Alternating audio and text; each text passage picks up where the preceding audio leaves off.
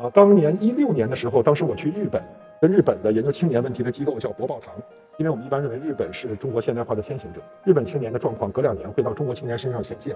当时博报堂他们研究青年问题的学者叫原田先生，原田先生跟我说，说我们管现在的日本青年啊叫做物时代。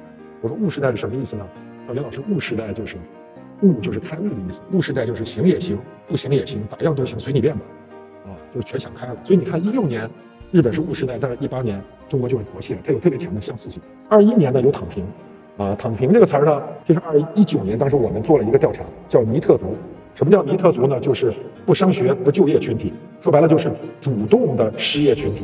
他主动，他有就业能力，但不就业。藏和佛系，我宁愿认为它是什么呢？它是一种，呃，还是被动的，而且它里边是有积极的因素的，啊，所以我们经常说，我说你看。我们一八年就有“佛系”这个词了，但是中国青年其实并并没有真正的佛系。我们中国青年的奋斗动力还是挺强的。中国有一种佛叫斗战胜佛，啊，就是他还奋斗，啊，他一边一边想休息，一边他还喝枸杞加鸡汤，他还继续干。你看，二一年躺平，说？李老师说躺平的韭菜不好割，咱们都开玩笑嘛。其实没关系，只要把韭菜扶起来，然后一样可以割。躺平也可能是换一种新的生活方式，也别那么紧张。我确实见过几个青年人，他们说：“李老师，你看我躺平没有？”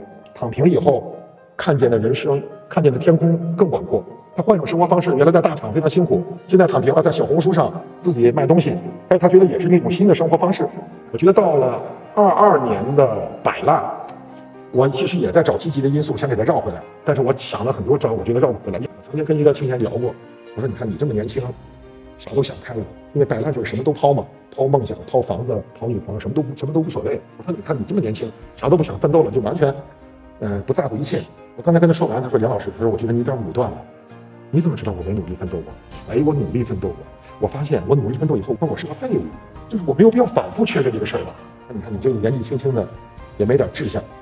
杨老师，你有理想信念，你们全家都有理想信念，是吧？就你没法聊。就摆烂青年，我觉得就是他自己有一套他自己的理论，而且他这个理论他想的特别透彻啊。所以你要做他们的工作，其实挺难做的。